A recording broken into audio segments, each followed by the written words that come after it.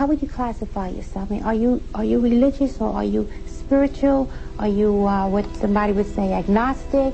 I mean, what what, what are you? I'm a common man, an ordinary man, in the pursuit of an extraordinary subject. I consider myself to be one who appreciates and will fight for truth. You are a truth seeker. Mm-hmm. Mm-hmm. I am an extremely spiritual person in that I hold very, very high spiritual um, morals, ethics. I believe in a very powerful spiritual force that dominates and overshadows the world. Uh, Christians call it God.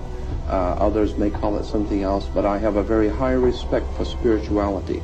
I have no time for religion as such. Anything that is organized by man quite certainly is not touching God.